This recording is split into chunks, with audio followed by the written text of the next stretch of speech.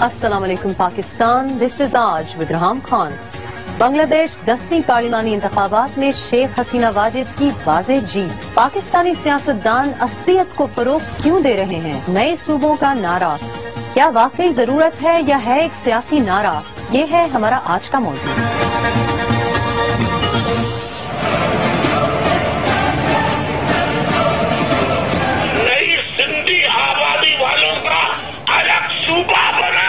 جائے۔ Fifty fifty کر لو، ورنہ پھر صوبہ بن سکتا ہے اور صوبے سے آگے بڑھ گئی بات تو ملک بھی بن سکتے ہیں۔ اگر آپ پاکستانی نیوز چینلز کو دیکھتے رہے ہیں تو تھرو آؤٹ دا ویکینڈ ہماری جو سیاسی لیڈران ہیں، ان کی طرف سے کافی دھماکہ خیز بیانات اور خطابات بھی آئے ہوئے ہیں۔ آغاز ہوا ایم کیو ایم کے قائد الطاف حسین کی ایک خطاب سے جو وہ اپنے پارٹی کے کارکنان سے کر رہے تھے اور جس میں انہوں نے کچھ دھماکہ خیز قسم کے مطالبات یا کچھ باتیں کی جس سے باقی پارٹیز کو کافی تشویش ہوئی یا کم از کم تشویش کا اظہار کیا گیا۔ وہ مطالبات کیا تھے وہ ہم آپ کو بتائیں گے، لیکن اس کے رد عمل میں جو بیانات باقی لیڈر سے آئے، جو ان کی کچھ جو کہ ہم خیال دکھائی دیتے ہیں اور کچھ جن کی طرف سے احتجاج کی کم از کم وعدے تھے، آج وہ وعدے مٹیریلائز نہیں ہوئے، جس طرح کے پاکستان میں اکثر وعدوں کا حال ہوتا ہے، لیکن اس پہ ہم بات کریں گے۔ اس کے بعد جب علیحدگی کی ہم بات کرتے ہیں تو ہم ایک نظر بنگلہ دیش کے الیکشنز پہ بھی ڈالیں گے علیحدگی کی جب ہم بات کرتے ہیں تو ظاہر ہے تاریخ پہ بھی ہم نظر ڈالتے ہیں اور بنگلہ دیش میں کل جو الیکشنز ہوئے ہیں، ان کا کیا نتیجہ آیا ہے؟ اس کا کیا امپیکٹ ہوگا پاکستان میں؟ اس کو ڈسکس کرنے جا رہے ہیں ہم اپنے پینل کے ساتھ۔ اس سے پہلے کہ ہم پینل سے آپ کو متعارف کرائیں، الطاف حسین کے کیا مطالبات تھے؟ ایک نظر اس پہ ڈالتے ہیں اور پھر باقی لیڈرز نے کیا کہا۔ مطالبات کچھ یوں تھے کہ اگر اردو بولنے والے سندھیوں کو پسند نہیں تو علیحدہ صوبہ بنا دیا جائے۔ شہری آبادی کو برابر کا حصہ نہ دیا گیا تو بات صوبے سے آگے، بلکہ ملک تک بھی پہنچ سکتی ہے۔ صوبے میں ففٹی ففٹی کا مطالبہ پورا کر دو تو منظور ہے ورنہ بات آگے نکل سکتی ہے۔ تو یہ تھے کچھ مطالبات اور کچھ وہ دھماکہ خیز باتیں جو الطاف حسین صاحب سے آئیں۔ لیکن اس کے جواب میں جو رد عمل آیا اور جو باقی بیانات بھی آئے، وہ بھی کچھ اسی قسم کے تھے کہ اٹھ کے بیٹھنا چاہیے۔ حالات سنگین ہیں، معلوم نہیں خیبر پختونخوا ملک کا حصہ رہے گا یا نہیں۔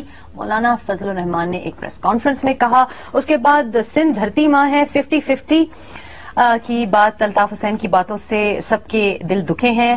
یہ حمزہ شہباز شریف کی طرف سے آیا ایک بیان۔ اور پھر سراج الحق صاحب نے جماعت اسلامی کے رہنما نے کہا کہ وفاق کو تعصب کی اینک ہٹا کر تمام صوبوں کو برابر دیکھنا ہوگا۔ اب یہ جو باتیں آئی ہیں، بہت سے آپ نے نیوز چینلز میں دیکھا ہوگا کہ جو تجزیہ نگاروں کا خیال ہے کہ یہ ایک پولیٹیکل ٹیکٹک ہے۔ یہ جو بنیادی ہمارے مسائل ہیں، اس سے ہماری توجہ ہٹانے کا ایک طریقہ ہے اور کچھ پاور سٹرگل کی بھی بات ہو رہی ہے، کچھ اپنے آپ کو ری انوینٹ کرنے کی بھی بات کی گئی۔ آج ہم اس کو اس نظریے سے دیکھیں گے کہ کیا اس وقت اگر یہ بات ہو رہی ہے تو اس کو توجہ دینی چاہیے۔ خواہ کہ یہ سیاسی مقاصد ہی کے لیے ہو، لیکن اس کے پیچھے کیا بنیادی لوگوں کے احساسات یا جذبات ہیں؟ اور کیا یہ بات بار بار بار جو بات اچھالی جا رہی ہے، اس کو کس طریقے سے کنٹرول کیا جائے کہ آگے چل کے ہمیں کم از کم اپنے مستقبل میں پچھتانا نہ پڑے؟ سینیٹر سعید غنی صاحب پی پی پی کی طرف سے ہمارے اسلام آباد اسٹوڈیوز میں بیٹھے ہوئے ہیں۔ غازی صلاح الدین صاحب ایم کیو ایم کا موقف ہم کو بتائیں گے، کراچی سے انہوں نے ہمیں جوائن کیا ہے۔ اور ساتھ ہی نعیم الرحمان صاحب نے ہمیں جماعت اسلامی سے جوائن کیا ہے۔ مجاہد بریلوی صاحب کو ہم فون لائن پہ لیں گے۔ سینئر اینالسٹ ہیں تجزیہ نگار ہیں، ان کے بھی خیالات ہم سنیں گے۔ چلتے ہیں پہلے سعید غنی صاحب کی طرف۔ سعید غنی صاحب، آپ کے سارے بیانات دیکھ رہے ہیں۔ لوگوں کا خیال ہے کہ یہ سیاسی مفاد کے لیے استعمال کیے جا رہے ہیں۔ It's ploy to reinvent political identities آپ کو لگتا ہے کہ اس کے پیچھے جو کافی عرصے سے بات چل چل چلتی رہی ہے کم از کم اربن سندھ میں، کراچی اور حیدرآباد میں وہ اس سے کہیں زیادہ پیچیدہ ہے اور اس کا بیک گراؤنڈ اور ہسٹری ہے، اس میں کوئی آپ کو لگتا ہے کہ کوئی سبسٹنس ہے؟ دیکھیں، اگر آپ سندھ کو جانتی ہیں، وہاں کی سیاست کو سمجھتی ہیں، وہاں کے حالات کو جانتی ہوں، تو جو وسائل ہیں، وہ تو شہروں میں ہیں۔ اور جو آسائشیں ہیں وہ بھی شہروں میں ہیں۔ اور جب آسائشیں شہروں میں ہیں تو جو اس کے فوائد ہیں یا جو اس کے بینیفٹس ہیں وہ اٹھانے والے بھی وہ لوگ ہیں جو شہروں میں رہتے ہیں۔ اگر یہ کہا جائے کہ لوگوں کو حقوق نہیں ملے ہیں یا ان کی بنیادی ضروریات پوری نہیں ہوئی ہیں، تو میرا خیال ہے کہ پھر ہمیں ان کی طرف زیادہ دیکھنا چاہیے جو آپ کے رورل ایریاز میں رہ رہے ہیں۔ ان کے پاس ہاسپٹلس کی فیسلٹی اتنی نہیں ہے جتنی اربن ایریاز میں ہیں. ان کے پاس ایجوکیشن کے وہ وسائل نہیں ہیں جو اربن ایریاز میں ہیں.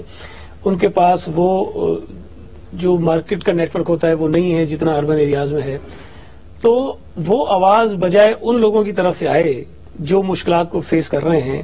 ان لوگوں کی طرف سے جب آتی ہے جو وسائل کو بھی استعمال کر رہے ہیں اور صرف مستفیض بھی ہو رہے ہیں تو تھوڑی سی میں سمجھتا ہوں کہ یہ زیادتی نظر آتی ہے. اور اگر ایک آپ ایم کیو ایم کے تھوڑا سا ماضی میں چلے جائیں یا الطاف حسین صاحب کی ابھی جو ریسنٹ پاس ہے اس کا، کہ جب جب انہیں یہ محسوس ہوتا ہے کہ الیکشنز آ رہے ہیں اور الیکشنز میں شاید ان کے جیتنے کے امکانات کم ہوں گے یا ان کے خلاف کوئی الائنسز بن رہے ہیں یا ایسے امکانات پیدا ہو رہے ہیں کہ الیکشن شاید فری اینڈ فیئر ہو جائیں ٹرانسپیرنٹ ہو جائیں، تو یہ ایک عام سی بات ہو گئی ہے کہ ہر تیسرے چوتھے مہینے یہ بات آتی ہے کہ جی اگر کراچی کا مینڈیٹ تسلیم نہیں ہے تو لیتا کر دو۔ اور کبھی کبھی کہتے ہیں جی پیپلز پارٹی جو ہے وہ مہاجروں کی نسل کشی کر رہی ہے۔ اور کبھی کبھی وہ کہتے ہیں جی سم کو الگ کر دو، کبھی کبھی کہتے ہیں سم کو توڑ دو، کبھی کہتے ہیں جی وہ کوئی ملک ہمارے الگ کر دو، یہ آتی ہیں۔ پھر اس کے فوراً بعد جب ریئیکشن آتا ہے تو اگلے دن یہ آتا ہے کہ جی آپ نے الطاف حسین صاحب کی بات کو صحیح انداز میں سمجھا نہیں۔ پھر اس کی وضاحتیں آتی ہیں ان کی طرف سے۔ تو بنیادی چیز یہ ہے کہ اگر ہم اس کی بات کو نہیں سمجھ پا رہے ہیں الطاف صاحب کی تو وہ واضح الفاظ میں بات کرتے کیوں نہیں ہیں؟ مطلب آپ کیا چاہتے ہیں کہ سندھ ایک رہے یا آپ یہ چاہتے ہیں کہ سندھ نیا صوبہ بننا چاہیے؟ مطلب اس میں تو کوئی مشکل میرا خیال الفاظ نہیں ہے چلے ہم پوچھتے ہیں غازی صلاح الدین ہمارے ساتھ ہیں۔ دوسری میں آپ I come back to that ایک ون پوائنٹ ایٹ ٹائم لیں گے۔ غازی صاحب واضح الفاظ میں کیوں الطاف حسین کی طرف سے یا ایم کیو ایم کی طرف سے ایک ہی بات پہ آپ لوگ اڑے کیوں نہیں رہتے؟ آپ کو علیحدہ صوبہ چاہیے یا نہیں چاہیے؟ کیا یہ پولیٹیکل مفادات ہی کے لیے بار بار یہ بات اچھالی جا رہی ہے۔ دیکھیں، مجھے سمجھ میں نہیں آ رہا کہ سعید غنی صاحب جو ہے وہ اس بات کو سمجھ کیوں نہیں رہے۔ جب پورا سندھ سمجھ رہا ہے، پورا پاکستان سمجھ رہا ہے کہ الطاف حسین بھائی سندھ کی تقسیم نہیں چاہتے، لیکن کراچی اور شہری علاقوں کے ساتھ جو زیادتی ہو رہی ہے اور پیپلز پارٹی کا وڈیرا کراچی کو بھی جو ہے وہ دیہی سندھ کی طرح چلانے کی کوشش کر رہا ہے تو اس پر الطاف حسین بھائی نے اگر جس طرح متنبع کیا ہے اور حالات کو جو ہے وہ سامنے رکھا ہے، اس حوالے سے ان ہمارے دوستوں کو یہ بات سمجھ میں کیوں نہیں آتی کہ آپ جو ہے وہ تاریخ کا سب سے بڑا سبق یہ ہے کہ ہم تاریخ سے سبق حاصل نہیں کرتے۔ یہ دیکھیں بنگلہ دیش کے انتخابات ابھی ہو رہے ہیں یا ہونے جا رہے ہیں یا ہو گئے ہیں۔ جس طرح افراتفری میں ہوئے ہیں، بنگلہ دیش کس طرح بنا، وہاں کے مینڈیٹ کو ہم نے تسلیم نہیں کیا۔ تو آج وہ بنگلہ دیش کی صورت میں سامنے آ گیا۔ اسی طرح آپ شہری علاقوں کے مینڈیٹ کو تسلیم نہیں کرتے، تو الطاف حسین بھائی شہری علاقوں کے ووٹرز کی نمائندگی کرتے ہیں۔ وہ شہری علاقوں کے جو ہے وہ کو دیہی علاقوں کی طرح رکھنا نہیں چاہتے، جس طرح سندھی وڈیرے نے رکھا ہے۔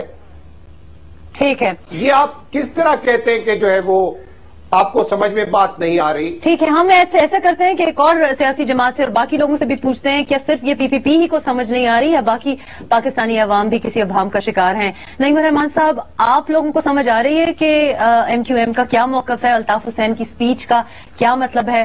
آپ کے اوپر یہ واضح ہے بات؟ بسم اللہ الرحمن الرحیم دیکھیے ہمیں تو بہت اچھی طرح سمجھ میں آتا ہے۔ اس لیے کہ ہم تو انیس سو چھیاسی سے دیکھ رہے ہیں کہ جب الطاف حسین صاحب نے مہاجروں کو پانچویں قومیت ملنی چاہیے، اس کا نعرہ لگایا تھا۔ پھر انہوں نے یہ نعرہ لگایا تھا کہ کوٹا سسٹم نہیں ہونا چاہیے اور میسوری نے بنگلہ دیش کو، پاکستان کو واپس پاکستان میں لانا چاہیے۔ لیکن ان تینوں مطالبات پر وہ حکومتوں میں رہتے رہے، ان سے گٹھ جوڑ کرتے رہے، اپنی ممبریاں بچاتے رہے۔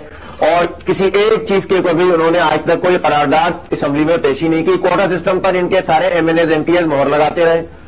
ٹھیک ہے، اور یہ وہ کوٹا سسٹم تھا جس پر ہزاروں قتل عام ہوئے تھے اس سندھ میں، حیدرآباد میں، کراچی میں خاص میں، سب جگہ۔ یہ وہ میسورین کا مطالبہ تھا جس کی بنیاد پر ایک بہت بڑی ویب بنی تھی۔ یہ پانچویں قومیت کا وہ مطالبہ تھا جس کا دکھڑا رو کر انہوں نے جو ہے وہ ایک ہلچل پیدا کر دی تھی۔ لیکن جب لوگوں نے ان کو ووٹ دیا کہ چلے ہمارے شہری علاقوں کے مسائل حل کریں، میں ابتدائی زمانے کی بات کر رہا ہوں، تو اس کے بعد انہوں نے ان تمام چیزوں میں سے کسی ایک پر بھی عمل نہیں کیا، بلکہ متحدہ قومی موومنٹ بن گئی۔ تو جو بات ہم ان سے کہہ رہے تھے کہ بھائی آپ اس تعصب کی بنیاد پر سیاست کرو گے تو تمہیں کچھ نہیں ملے گا، بلکہ مہاجروں کے حصے میں بھی ذلت کو رسوائی آئے گی اور وہ آئی۔ پہلے مہاجروں کو پٹھانوں سے لڑایا، پھر پنجابیوں سے لڑایا، پھر سندھیوں سے لڑایا، پھر مہاجروں نے مہاجروں کا قتل عام کیا، پھر ایم کیو حقیقی بن گئی، پھر آپس میں قتل عام ہوتا رہا، پھر ٹارگٹ کلنگ ہوتی رہی۔ آج بھی یہ شہر کراچی اسی دہشت گردی کا شکار ہے جو جس کا بیج انیس سو چھیاسی میں ایم کیو ایم نے بویا تھا۔ تو اس لیے ہم تو یہ بات آپ سے کرتے ہیں کہ اس طرح کے نعرے لگا کر آپ لوگوں کو مزید بیوقوف نہیں بنا سکتے۔ ہمیں ہم چاہتے یہ ہیں کہ ہم پاکستان کی باؤنڈری میں رہتے ہوئے اور سندھ میں اپنے تمام تر یعنی رورل ایریاز کے بھی اور جو شہری علاقے ہیں، ان کے مسائل کے حوالے سے بھی گفتگو کریں۔ دیکھیے، آج یہ مطالبہ کیوں کر رہے ہیں؟ یہ مشرف کی حکومت میں موجود تھے، ان کا گورنر گیارہ سال سے موجود ہے۔ یہ پاکستان انیس سو اٹھاسی سے لے کر آج تک تمام حکومتوں میں موجود رہے۔ ہیں مشرف صاحب کے زمانے میں انہوں نے علیحدہ مہاجر صوبے کا مطالبہ کیوں نہیں کیا؟ کیوں یہ دھمکیاں نہیں دے رہے تھے؟ اس وقت مشرف کو کہ ہم پاکستان کو توڑ دیں گے۔ اس سے پہلے دے رہے تھے، اس کے بعد دے رہے غازی صاحب، آپ نے بات سن بات سنی نعیم الرحمان صاحب کی۔ آپ لوگ حکومت میں بھی رہے ہیں، گیارہ سال سے آپ کے گورنر بھی وہاں رہے ہیں۔ تو کیا وجہ ہے کہ جو آپ کے مطالبات ہیں ویلڈ اور ان ویلڈ جو بھی مطالبات رہے، وہ حکومت میں آپ نے ان کو کیوں پرسو نہیں کیا؟ اتنے عرصے میں کیوں نہیں پرسو کیا؟ اور جیسے سعید صاحب کہہ رہے ہیں کہ جب کوئی انتخابات ہوتے ہیں یا کوئی بھی مسئلہ درپیش ہوتا ہے، تو تب یہ باتیں آتی ہیں۔ پھر اس کی وجہ سے لوگوں کو یہ تجسس ہوتا ہے اور یہ انٹریگ پیدا ہوتی ہے کہ کیا کسی اور وجہ سے تو آپ اس موضوع کو اب نہیں چھیڑ رہے؟ نہیں، دیکھیں جی نعیم الرحمان صاحب اگر اور جماعت اسلامی تعصب کی اینک اتار کر دیکھے، اگر یہ لوگ کہتے ہیں کہ قائد تحریک الطاف حسین بھائی کو کراچی کے شہری علاقوں کا مینڈیٹ حاصل نہیں ہے اور ہم تعصب کی سیاست کر رہے ہیں اور ہم سندھ کی علیحدگی کی بات کرتے ہیں، تو پھر جماعت اسلامی کو کہاں سے مینڈیٹ حاصل ہوتا رہا؟ جماعت اسلامی کو کراچی کے لوگ اور شہری علاقے کو لوگ کیوں نہیں قبول کرتے؟ بھائی جب آپ شدت پسندوں اور دہشت گردوں کا ساتھ دیں گے اور حکیم اللہ محسود کو شہید قرار دیں گے، تو کون آپ کا ساتھ دے گا؟ شہری علاقوں کے لوگ سویلائزڈ لوگ ہوتے ہیں۔ وہ دیہی علاقوں کے ہاری نہیں ہوتے کہ ایک وڈیرا آیا اور اس نے ڈنڈا دکھایا کہ فلانے شخص کو ووٹ دینا ہے تو اس کو ووٹ دے دیا جائے گا۔ شہری علاقوں کے لوگ اگر قائد تحریک الطاف حسین بھائی کو ووٹ دیتے رہے ہیں اور دیتے آئے ہیں اور کل کا جلسہ، لاکھوں کا جلسہ اس بات کا، اس بات کا ثبوت ہے، آج بھی کراچی کے عوام جو ہے قائد تحریک الطاف حسین بھائی کو اپنا لیڈر تسلیم کرتے ہیں اور اس کے علاوہ اور کوئی لیڈر نہیں ہے۔ اچھا جی اربن ووٹس کے وہ ریپرزینٹیشن دے رہے ہیں اور سویلائز سٹانس یہ ہے۔ آپ کا اس پہ کیا کامنٹ ہے سعید صاحب؟ ایک تو میرا خیال ہے کہ یہ کہنا کہ جو رورل ایریاز کے ووٹرز ہیں وہ بے شعور ہیں ان کو پتہ نہیں ہے اور وہ وڈیروں کو دیکھیں میں نے بے شعور کی بات نہیں کی۔ نہیں نہیں مطلب تو یہ ہے نا کہ وڈیروں بے شعور بے شعور کا- بھائی وڈیروں کو کہنے پہ دیتے تو شعور نہیں ہے نا ان کو؟ نہیں نہیں مطلب یہ کہہ رہے ہیں نا نہیں نہیں نہیں نہیں ہاں۔ میں نے آپ جانتے ہیں آپ جانتے ہیں کہ وہاں پر وڈیروں کا تسلط ہے اور وڈیرے اپنے علاقے میں کیا کرتے رہتے ہیں؟ پینسٹھ سال سے وہ جیتتے آئے ہیں انہوں نے۔ سندھ کے ساتھ کیا کیا میں- ہے میں ذرا بات کر سندھ لوں۔ کی- جی۔ سندھ کی۔ ترقی مجھے بتا دیں اچھا میں ذرا بات کر لوں ایک منٹ جی میں جی، جی، ایک کوئی کامنٹ اور پھر کے مجاہد صاحب ہمارے ساتھ آن لائن سندھ کے ہے لوگ پولیٹیکلی میچور نہ ہوتے نا جی۔ تو پیر پگارا صاحب دو دفعہ خود نہیں ہارتے۔ بہت بڑے پیر ہیں ان کا بڑا فالوئنگ ہے بہت زیادہ لیکن وہ پیپلز پارٹی کے عام ورکر سے ہار گئے دو دفعہ۔ اور ایسی بے شمار مثالیں آپ کو ملیں گی۔ اس کا مطلب یہ ہے کہ وہ زمانہ اور تھا۔ ایک منٹ جی نظیر صاحب آپ کی غازی۔ صلاح الدین اچھا، صاحب غازی صلاح الدین صاحب بے صبری تو نہ کریں نا۔ سعید صاحب کو بات کمپلیٹ۔ کرنے دیجیے پلیز سعید صاحب کو بات کمپلیٹ کرنے دیجیے پھر ہم آپ کی طرف آتے ہیں۔ جی۔ حقائق حقائق کے جی ساتھ بات جی۔ بالکل بالکل۔ بات تو میں اپنی کروں گا نا آپ جی۔ کی خواہش میں تو نہیں کروں گا بھائی صاحب۔ بات کمپلیٹ کرنے مطلب آپ ہم کو کی- نہیں، جی وہ جتنے جتنے حقائق آپ نے بولے وہ مجھے پتا ہے جی، مجھے اپنی۔ بات کرنے دیں مہربانی کریں۔ نہیں مجھے بھی پتا ہے مجھے بھی پتا ہے اچھا تو میں اپنی بات کر جی صاحب گے؟ آپ فرمائیے۔ جی جی جی گزارش یہ ہے گزارش یہ ہے کہ ہم جس موضوع پر بات کر رہے ہیں کہ تاثر یہ دیا جا رہا ہے کہ جی شاید شہری لوگوں کے ساتھ بہت بڑی زیادتیاں ہو رہی ہیں۔ دیکھیں میں یہ نہیں کہتا کہ ہر آدمی کوئی آئیڈیل سچویشن میں رہ رہا ہے۔ ہر جگہ پر مسائل ہیں اور مسائل ڈفرینٹ ہیں۔ اصل میں ایم کیو ایم نے جو یہ سارا سلسلہ شروع کیا وہ شروع کیا یہ بلدیاتی جو ڈیلیمیٹیشن ہوئی ہیں اس۔ اس پہ اس انہوں نے۔ سارا شروع شروع کیا۔ اور اب اس پر ہم بات کر نہیں رہے ہیں ورنہ میں یہ بھی ثابت کر سکتا ہوں کہ وہ جو تھا وہ ساؤ خواہ کا واویلا تھا۔ اور اس کو اس پہ بلا وجہ ایک شور مچا کے ایک سچویشن ایسی پیدا کی گئی اور شاید ان کو محسوس ہی ہو رہا تھا کہ جو ڈیلیمیٹیشن اس دفعہ ہوئی ہیں اس میں ایم کیو ایم کا اصل مینڈیٹ لوگوں کے سامنے آ جائے گا۔ اور یہ ایک بڑی دلچسپ بات ہے کہ یہ پیپلز پارٹی جتنے انتخابات لڑی ہے چاہے وہ قومی ہوں چاہے صوبائی ہوں چاہے بلدیاتی ہوں ڈی لمیٹیشن ہم نے نہیں کروائی ہوئی تھی۔ ہمارے خلاف ڈی لمیٹیشن ہوتی ہیں اور چن چن کے ایسے حلقے بنائے جاتے تھے کہ پیپلز پارٹی اس میں ہارے۔ حلقے بن گئے اس کے بعد جب الیکشن ہوتا تھا اس میں پیپلز پارٹی کو مارا جاتا تھا داندلیاں ہوتی تھی ریزلٹ چینج ہوتے تھے۔ آپ کا خیال ہے کہ یہ جو ابھی۔ بیانات آ رہے ہیں یہ لوکل باڈیز الیکشن سے ہم ڈائریکٹلی نے ہم ہم کوشش یہ کی رہا کہ جو کچھ ماضی میں گند ہوا ہوا ہے ان چیزوں کو ہم ٹھیک کریں ہم نے ہلکے ٹھیک کیے ہیں۔ اب اگر اس ٹھیک کرنے میں کسی کی دم پہ پیر آ گیا ہے تو اس پہ ہم کچھ نہیں کہہ سکتے ہیں لیکن ٹھیک ہے۔ اور اب میں اچھا۔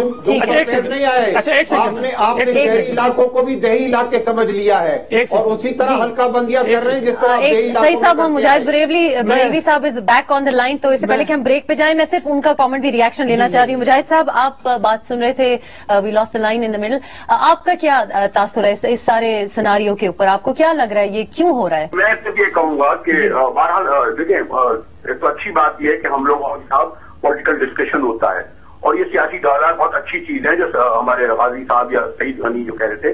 لیکن ہم لوگ جو ایم سی ایم کو واچ کرتے رہے ہیں، تو آپ یہ ضرور پیش رکھیں کہ یقیناً حکومت میں ہوتے ہوئے ایک پارٹی اور موقف ہوتا ہے۔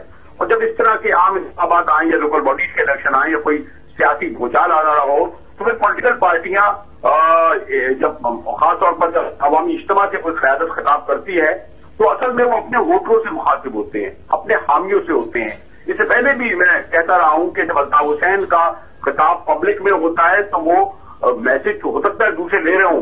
لیکن اصل وہ اپنے فالوورز کو اسٹرانگ کر رہے ہوتے ہیں۔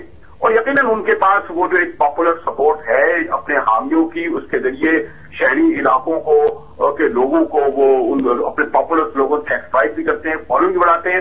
اب یہ ضرور ہے ہم بدقسمتی سے کہ ہمارے دوست سعید بیٹھے ہیں، لیکن بہرحال پیپلز پارٹی ایک زمانے میں کراچی اور سندھ کے شہری علاقوں کی بہت مضبوط پارٹی ہوتی تھی، لیکن بدقسمتی سے اب وہ ایک کئی علاقوں تک زیادہ محدود ہو گئی ہے۔ حالانکہ اگر ہم پاس میں دیکھیں کہ بھٹو صاحب یا بے نظیر صاحبہ، انہوں نے ڈیولپمنٹ کے حیثیت سے کتنا یہاں پر کام کیے، لیکن ان کے یہاں ایسی قیادت نہیں آئی کہ وہ جو پیس پارٹی یہاں تین نشستیں اور چار نشستیں قومی کی اور صوبائی کی جیتتی تھی، آج انہیں خود علم ہے کہ وہ کیا کمزوریاں اور خامیاں ہیں جس کے سبب پیپلز پارٹی کو قومی اسمبلی کی ایک اور تین اور وہ بھی لیاری کی ملی۔ تو اور ایم سی ایم کو بھی یہ سوچنا چاہیے کہ وہ اگر شہری علاقوں کے دعوے دار ہیں، تو وہ ایک مہاجر پارٹی کی حیثیت سے نیشنل لیول پر یا نیشنل لیول پر سروائو نہیں کر سکتے۔ اور اسی لیے شاید انہوں نے تنظیم کو ڈیولپ کیا، لیکن میں حالیہ بیانات جو قائد تحریک الطاف حسین کے آئے ہیں، ان کو تو صرف اس طرح میں دیکھتا ہوں کہ ذرا یہ جو انتخابات کی گہنا گہمی شروع ہونے والی ہے۔ اپنے ووٹروں کو، اپنے حامیوں کو وہ اٹیک کرنے کے لیے اس طرح کے پاپولر سلوگن انہوں نے دیے ہیں۔ اچھا مجاہد صاحب آپ کے نظریے میں کیونکہ بیکاز بہت سے تجزیہ نگاروں کا بہت سے باتوں سے انہوں نے لنک بھی کیا ہے اور گزشتہ تین چار دن سے سب کی ہم تھیری سن رہے ہیں۔ آپ کے خیال میں کہ یہ جو سیاسی بہچال جس طرح آپ نے ٹرم کیا کیا یہ جو جو بیانات آ رہے ہیں الطاف حسین صاحب کے وہ ان کے حق میں جائیں گے؟ ان اینی وے ان کو مطلب اس سے فائدہ ہوگا؟ ان کے حق میں جائیں گے رحمت خان یقیناً وہ اپنے فالوور سپورٹر جیسے میں نے کہا نا کہ خاص طور پر بلدیاتی الیکشن سے پہلے حیدرآباد اور کراچی کا ایم پی ایم کے قیادت کا یہ خطاب دراصل اپنے ان ووٹروں سے ہے اور خاص طور پر اس کو ہمیں بلدیاتی الیکشن کے تناظری میں دیکھنا چاہیے جب وہ سندھ ون یا سندھ ٹو کرتے ہیں۔ لیکن ایسی کوئی بات نہیں ہے کہ اگر الطاف حسین کے اگر کسی بیان سے آپ یہ کہیں کہ جی وہ لڑکی جا رہے ہیں، پاکستان توڑ رہے ہیں، ملک الگ ہو رہے ہیں، وہ ایک ایکسپلیشن ہے اور مخالفین کا اس بات کا حق حاصل ہے کہ وہ ان کو، ان کے ان بیانوں کو اسی پیمانے بنائیں لیکن میں ایک تھوڑا سا جو آبزرو کرتا رہا ہوں سندھ کی سیاست کو اور خاص طور پر ایم کو واچ کرتا رہا ہوں۔ ایم کے ایم بہرحال اس کو علم ہے کہ سم ایکسٹینٹ پیپلز پارٹی اس کی ضرورت بھی ہے اور مجبوری۔ اسی طرح ان دو، یہ دونوں پارٹیاں جو ہیں سندھ کی، یہ اس وقت آپ کو بڑے اسکرینوں پر ایک دوسرے کے خلاف گرجتی چمکتی نظر آئے۔ یہ بدقسمتی سے کہہ لیں یا خوش قسمتی سے، یہ ایک ریئلٹی ہے کہ پیپلز پارٹی اور ایم پی ایم شہری اور دیہی علاقوں کی نمائندہ جماعتیں ایک دوسرے کے بغیر نہ تو رہ سکتی ہیں۔ نہ رہ پائی ہیں۔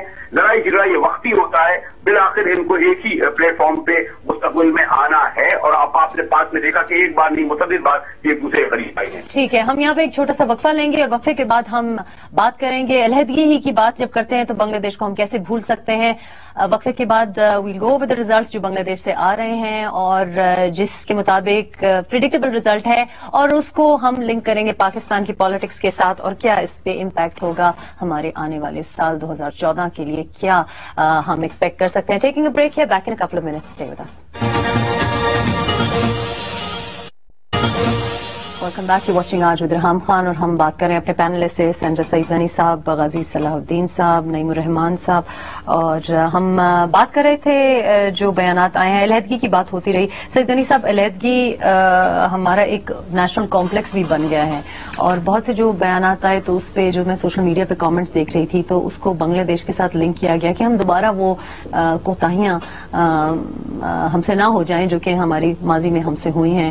بنگلہ دیش میں جو الیکشنز uh, کے ریزلٹس آ رہے ہیں. وہ ایز ایکسپیکٹڈ بہت زیادہ وائلنس اور بوائیکاٹ um, جو میجر اپوزیشن پارٹی سے انہوں نے بوائیکاٹ بھی کیا اور جو ہم ایکسپیکٹ کر رہے تھے um, کہ حسینہ، شیخ حسینہ واجد جیت جائیں گی، وہ انپوزڈ جیت گئی ہیں.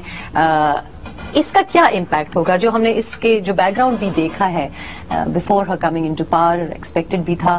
اس کا پاکستانی پالیٹکس پہ، پاکستان کے اندرونی جو حالات ہیں، سیاست جو ہے، اس پہ کیا امپیکٹ آپ دیکھتے ہیں؟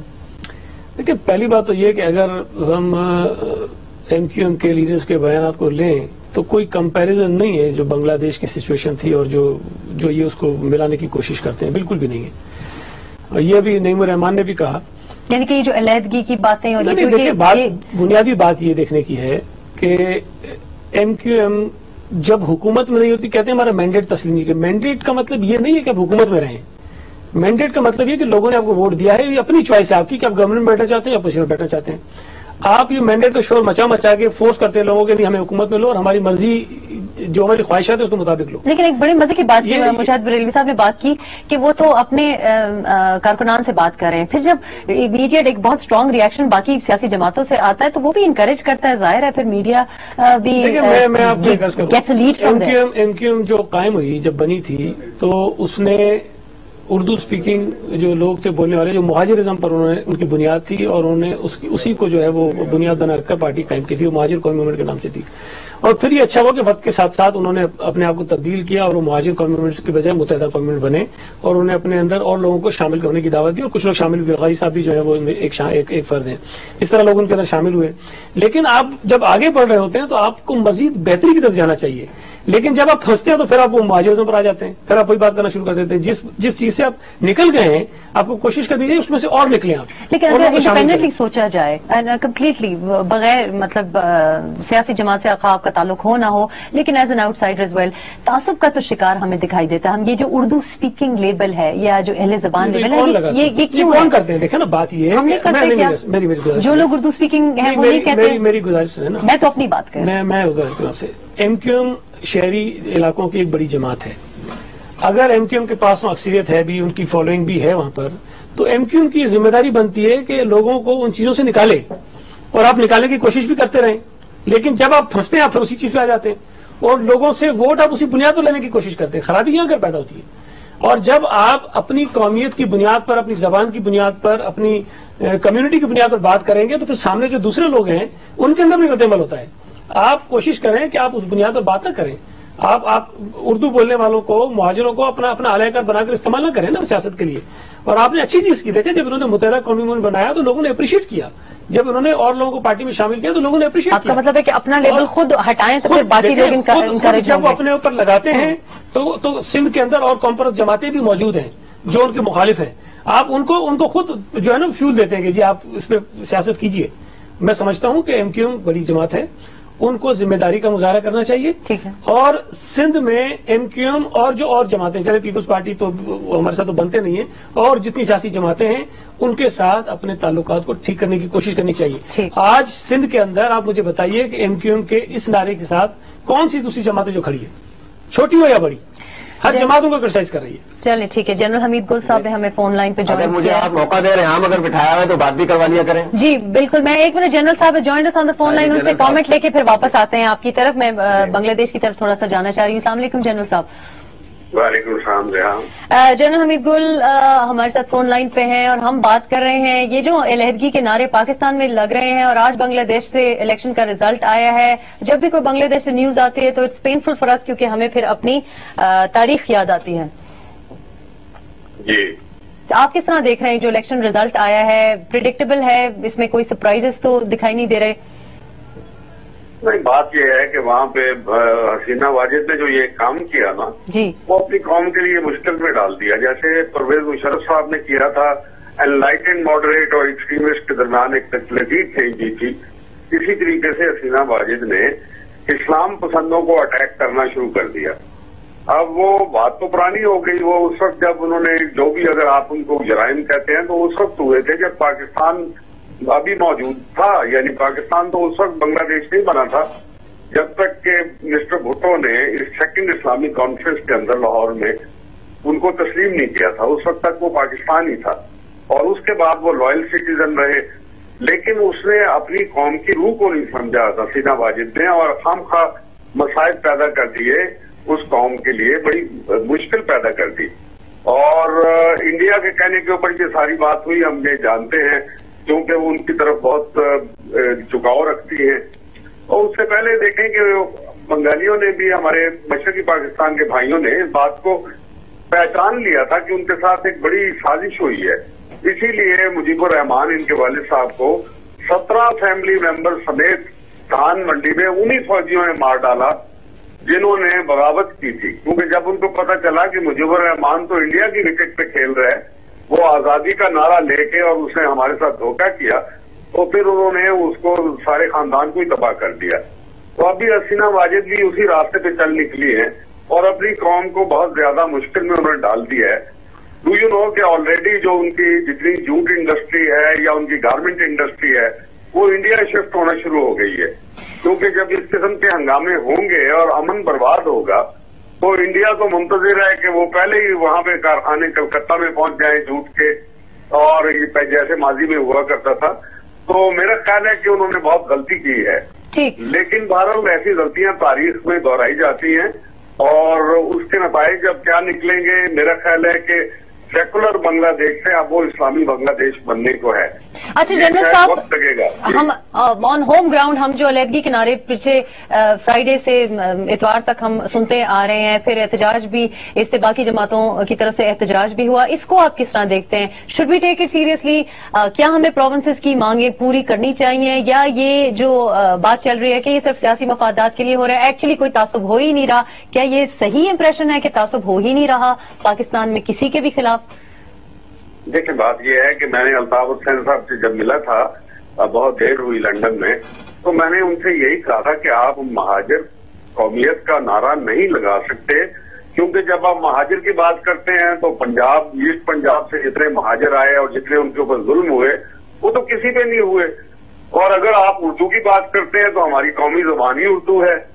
اور پنجاب سارا اردو بولتا ہے، شہروں میں اردو بولی جاتی ہے، باقی جگہوں میں پنجابی بھی بولی جاتی ہے، لیکن اردو ایک ایسی لنگوا فرینکا ہے جس کو سارے ہندوستان میں سنا جاتا ہے بولا جاتا ہے۔ Second largest spoken language of the world تو پھر کیا وجہ ہے کہ ہم کیا وجہ ہے؟ I can hold my hands up and say کہ ہم مجھ پہ شاید اگر میں اگر اردو بولتی ہوں تو مجھ پہ لیکن اہل زبان یا اردو اسپیکنگ کا لیبل نہیں لگتا۔ لیکن اٹ از فیئر ٹو سے کہ جو کراچی میں لوگ رہتے ہیں جو اربن ووٹر جس کی بات کر رہے ہیں ایم کیو ایم ان کے اوپر وہ اردو اسپیکنگ کا لیبل لگتا ہے۔ We have to accept that نہیں، آپ یہ تو نہیں اردو ان کے بیچ میں باقی بھی تو ہیں نا۔ بہت سارے اور لوگ ہیں جو کہ اردو اسپیکنگ نہیں ہے وہ ان کے ساتھ ہیں۔ اور متحدہ قومی موومنٹ جب انہوں نے چلائی، نام تو وہی انیشل وہی رکھے جس کو اچھی بات تھی۔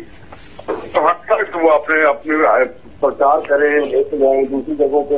یہ ان کا حق تھا۔ لیکن اگر آپ وہ اس بنیاد پہ کہ جی ہم ملک تقسیم کر ڈالیں گے، اور پھر ان کا ماضی بھی تو ہے نا، جہاں انہوں نے کہا تھا کہ میں اگر اس وقت ہوتا بچہ تھا میں تو لیکن اگر میں پیدا ہوا ہوتا تو میں کبھی اس کو پاکستان کو یہ ایک بہت بڑا کلمیہ ہوا ہے پاکستان کا بننا۔ ہندوستان کا تقسیم ہونا یہ باتیں ہمارے سامنے موجود ہیں ان کے بارے میں بہت سے شکوک پائے جاتے ہیں۔ تو میرا خیال ہے کہ ایڈمنسٹریٹولی تو اس کے اوپر بہت ایکسرسائز پہلے بھی ہو چکی ضیاولت کے زمانے میں سولہ صوبوں کی بات ہوئی تھی سولہ اسٹیٹ کی بات ہوئی تھی اور کہا تھا کہ آپ چھبیس کی بھی بات ہوئی تھی۔ کہ بھائی اتنا بڑا ملک ہے آپ اس کے چھوٹے یونٹس میں ایڈمنسٹریٹو یونٹس لیکن وہ تو جنرل صاحب جب تک ہمارے پاس صدارتی نظام نہیں ہوگا وہ تو امپلیمنٹ نہیں ہو سکتا۔ آئی تھنک اس کے لیے تو آپ کے لیے پریزیڈینشیل سسٹم کی وہی یہی بات تھی کہ اس وقت آپ کو آئین میں بہت بڑی ترمیم کرنی پڑے گی جی۔ اور صدارتی نظام کے بغیر آپ چھوٹے یونٹس نہیں بنا سکتے۔ ورنہ یہ ملک مکمل نہیں ہو سکتا اتنا خرچ برداشت کرنے کا۔ چلیں اب اتنے کامنٹس ہو گئے غازی صاحب کی طرف چلتے ہیں۔ غازی صاحب جنرل حمید گل کی آپ نے بات سنی۔ آپ کا ان ساری باتوں کا اب کیا ریئیکشن ہے؟ جو بات سعید غنی صاحب کہہ رہے ہیں particularly want you to react to that کہ اگر آپ اپنے آپ کو اسٹیریو ٹائپ نہ کریں ایک ایک کوزے میں بند نہ کریں تو پھر شاید باقی لوگ بھی انکریج ہوں کہ بار بار آپ اس بات کو نہ اچھالیں۔ تو شاید یہ تعصب کم از کم آپ اندر سے اگر ختم کریں تو اور لوگ تعصب کرنا چھوڑ دیں شاید۔ دیکھیں میں سعید غنی صاحب نے دو باتیں کی میں ان کا جواب دینا ضروری سمجھوں گا پارٹی جی۔ کی طرف سے کہ ایک تو انہوں نے کہا کہ ہم بار بار کوشش کرتے ہیں حکومت میں جانے کی ہمیں کوئی شوق نہیں ہے حکومت میں جانے کا اور یہ آپ کے جب بھی ہم نے اپوزیشن کے اتحاد بنانے کی کوشش کی ہے اور ہم نے دوسرے الائنس بنانے کی کوشش کی ہے تو رحمان ملک صاحب کو آگے کر دیا جاتا ہے تاکہ جو ہے وہ اس اتحاد کے درمیان دراڑیں پیدا کر دی جائیں آپ نے دیکھا ابھی سندھ ہائی کورٹ نے فیصلہ ہمارے فیور میں کیا۔ ایک جسٹس کیا۔ جو اسمبلی نے بلڈوز کر دیا تھا تمام اپوزیشن کو، اور جو ہے وہ ایک لا جو ہے وہ انہوں نے اپنے طور پر پاس کر لیا تھا اور کسی کو سنے بغیر۔ اس حوالے سے بھی جو ہے تمام پولیٹیکل پارٹی سعید غنی صاحب کہہ رہے تھے نا، پیر پگارا اور یہ تو پیر پگارا جماعت اسلامی مسلم لیگ نون تمام ہمارے ساتھ کھڑے تھے اور پیپلز پارٹی آئسولیٹ تھی۔ اس وقت کہاں تھے یہ لوگ؟ غازی صاحب ویسے رحمان ملک ہمارا تاثر تو یہ ہے کہ آپ لوگوں کے ساتھ بہت صلح جو رہے ہیں ہمیں تو کم از کم میڈیا پہ یہی دکھائی دیتا ہے۔ ہم خود صلح ہم خود ہم خود صلح جو ہیں۔ اچھا۔ ہم پانچ سال تک ان کے ساتھ چلتے رہے اور ہم نے کوشش کی کہ سندھ کے اندر بھائی چارے کی فضا پیدا ہو۔ سندھ کے اندر لا اینڈ آرڈر کی صورتحال کو بہتر بنایا جا سکے اور یہ سندھ کی دو بڑی جماعتیں ہیں۔ پاکستان پیپلز پارٹی جو دیہی علاقوں کی نمائندگی کرتی ہے اور متحدہ قومی موومنٹ شہری علاقوں کی نمائندہ واحد سیاسی جماعت ہے۔ ٹھیک۔ تو یہ مل کر یہ فطری اتحادی ہیں۔ یہ مل کر جو ہے وہ سندھ کی بہتری اور بھلائی کے لیے کام کریں۔ لیکن انہوں نے کیا کیا؟ انہوں نے ہمارے ساتھ وہاں پر بھی تعصب کا مظاہرہ کیا۔ آخر کب تک ہم یہ ستم سہتے رہیں گے؟ آخر ہمیں اپنے ووٹرز کو بھی تو جواب دہ ہونا ہے۔ ٹھیک۔ نہیں اگر یہ لوگ دیہی علاقوں کے سامنے جواب دائیں یہ لوگ کہتے ہیں کہ جو ہم ایک چھوٹی سی پارٹی بن گئے تو بھائی آپ جو اتنی بڑی سیاسی جماعت تھے پاکستان پیپلز پارٹی وہ جو ہے گیارہ مئی کے عام انتخابات کے بعد اب سکڑ کر تین سندھ کے تین ڈویژن تک محدود ہو گئی ہے۔ اچھا۔ اور آپ نے جو ہے وہ اب پاکستان پیپلز پارٹی نے قومی نعرہ چھوڑ کر اور یہ مرسوں مرسوں سندھ نہ ڈیسوں کا نعرہ اپنا لیا ہے۔ یہ نعرہ تو قوم پرستوں کا نعرہ ہے۔ یہ نعرہ تو ہوشو شیدی کا نعرہ ہے۔ یہ تو نعرہ سندھ کا نعرہ ہے۔ اچھا، آپ- اس کے خلاف پارٹی ہیں؟ وفاقی پارٹی ہے۔ آپ اس کے یعنی- خلاف ہیں؟ پاکستان نہیں، آپ کو میں یہ نعرہ خلاف برا نہیں لگتا ہوں ہے؟ آپ کو بتا رہا ہوں۔ آپ کو یہ نعرہ برا لگتا نہیں ہے؟ آپ کو بتا رہا ہوں۔ برا نہیں لگتا۔ آپ کو بتا رہا ہوں کہ پاکستان پیپلز پارٹی سندھ کی بات کر کے وفاق سے کیوں پیچھا جب آپ رہی ہے؟ سندھ توڑنے کی بات کریں گے تو۔ کی نعرہ لگائیں گے نا۔ آپ پاکستان کی بات کریں گے پاکستان کا ہوشو نعرہ بھی شیدی- لگائیں گے۔ پاکستان کھپے کا نعرہ ہم نے لگایا شیدی تھا۔ نہیں ہوشو شیدی کا نعرہ تھا اس کو ہائی جیک کر رہے ہیں آپ۔ نہیں انہیں یہ کا نعرہ ہے نعرہ ہے۔ جو بلال صاحب نے ٹویٹ کیا تھا نیچے نام لکھا تھا ہوشو کا۔ نہیں میرے مان یہ صاحب نہیں میرے ایک مان دو صاحب۔ یہ جب میں تعصب کی بات کرتی ہوں تو وہ اگر ایم کیو ایم اگر اسٹیریو ٹائپ کر رہی ہے تو پھر جیسے غازی صاحب کہہ رہے ہیں کہ پھر پی پی پی بھی وہ اسی راستے پہ چل رہی ہے۔ یہ مجھے آئی میں بٹ کنفیوز سعید غنی صاحب کا خیال ہے کہ ایم کیو ایم آئسولیٹڈ ہے۔ ایم کیو ایم کا خیال ہے کہ پی پی پی اکیلی رہ گئی ہے۔ کون اکیلا رہ گیا ہے سندھ میں؟ دیکھیے میں آپ کو ایک بات بہت بنیادی بتا دوں ریحم خان۔ میرے والد صاحب علی گڑھ سے ہجرت کر کے بہت مشکل حالات میں پاکستان پہنچے تھے۔ ہمارے امیر سید منور حسن صاحب بہت چھوٹے سے تھے، اپنے ماں باپ کی انگلیاں پکڑ کر سینتالیس میں آئے تھے، اس کے بعد نہیں آئے تھے۔ پاکستان کو ہم نے لا الہ الا اللہ محمد الرسول اللہ کے لیے بنایا تھا ہمارے والدین نے۔ اور ہم اسی نظریے کے اوپر قائم ہیں اور مہاجر سارے اسی نظریے پہ قائم ہیں۔ جو محرومیاں اور خرابیاں یہاں پر پیدا ہوئیں، اس اسٹیبلشمنٹ کے نظام کے نتیجے میں کہ جنہوں نے پاکستان میں لا الہ الا اللہ کا عادلانہ نظام قائم نہیں کیا اس کے نتیجے میں جگہ جگہ لوگوں نے محسوس کیا کہ ان کے حقوق کو پامال کیا جا رہا ہے۔ جماعت اسلامی ان تمام چیزوں کے اوپر اس شہر میں بات کرتی تھی، لیکن تعصب کی بات نہیں کرتی تھی۔ ہم یہ سمجھتے ہیں کہ تعصب کی بات کر کے اور مہاجروں کو پنجابیوں سے، سندھیوں سے لڑوا کے کبھی بھی اس شہر کی، اس ملک کی خدمت نہیں کی جا سکتی۔ ایم کیو ایم نے بدقسمتی سے وہ سیاست کی اور مہاجروں کا بیڑا غرق کیا۔ ستائیس تیس ہزار مہاجر قتل ہو چکے ہیں ان کی سیاست کے نتیجے میں۔ لیکن انہوں نے مہاجروں کے نام پر ووٹ لے کر مہاجروں کے ساتھ جو زیادتیاں کی ہیں، کوٹا سسٹم ختم نہیں کروایا۔ انہوں نے قومیت کی یہ بات پرمت چھوڑ دی۔ انہوں نے محفورین کو یہ لے کر نہیں آئے۔ اور انہوں نے تمام مراحت حاصل کی۔ میں آپ کو یہ بات کہتا ہوں، شہر کراچی کے لوگوں سے یہ بات کرتا ہوں کہ اب تک کہ ان کے ان کا مینڈیٹ ایک انگوٹھا ربر کے انگوٹھے کا مینڈیٹ ہو چکا ہے۔ ان کا مینڈیٹ نہیں ہے، یہ کیوں مہاجروں کو کلیم کرتے ہیں؟ مہاجر ان کے ساتھ نہیں ہے، مہاجر اس سے نکلنا چاہتے ہیں، ان کو دبایا گیا ہے۔ آپ وڈیرا چائی کی بات کرتے ہیں کراچی میں سب سے بڑی وڈیرا چاہیے عزیز آباد میں چلے جائیے، لانگی کورنگی میں چلے جائیے، ملیر میں چلے جائیے، لیاقت آباد میں چلے جائیے، وہاں آزادی سے کوئی بات کر نہیں سکتا ہے۔ اس میں مہاجر اور مہاجروں کی بات تھوڑے ہیں مہاجروں کے ساتھ بہت کچھ ہو چکا ہے۔ ہم پاکستان کی اور اسلام کی بات کرنے والے لوگ ہیں، اور ہمارے ساتھ یہ زیادتی نہ کرو کہ ہمارا جو ہے وہ کسٹوڈین بن کر آپ ہمارے نام کے اوپر قتل عام کرو، دہشت گرد بنا دو ہمیں ریحان تانا اور فہیم کنکٹا اور جو ہے وہ کامران معذوری کو دینے دو نعیم الرحمان صاحب بہت بہت شکریہ معذرت کے ساتھ کے ساتھ پروگرام کا وقت ختم ہو گیا۔ بہت بہت معذرت سینیٹر سعید غنی صاحب غازی صلاح الدین صاحب نعیم الرحمان صاحب جنرل حمید گل صاحب مجاہد بریلوی صاحب نے ہمیں آج جوائن کیا تھا۔ بات میرا خیال بنیادی یہی ہے کہ سیاسی مفادات کے لیے اگر کچھ نعرے لگیں گے واضح ہوں یا واضح نہ ہوں کچھ لوگوں کو آپس میں لڑنے کا موقع مل جائے گا۔ لیکن سیاسی جماعتیں پھر ہمیں دوبارہ جب ان کو سوٹ کرے گا ایک سیاسی پیج پہ ایک صفحے پہ دکھائی دیں گی۔ شاید سیاسی مفادات سے نکل کر ہمیں قومی مفادات کو سامنے رکھنا چاہیے۔ ہم صرف عرضی کر سکتے ہیں، ہم صرف یہی کہہ سکتے ہیں کہ ذرا سوچئے تو۔ جہاں رہیے، شاد باد رہیے۔ اللہ حافظ۔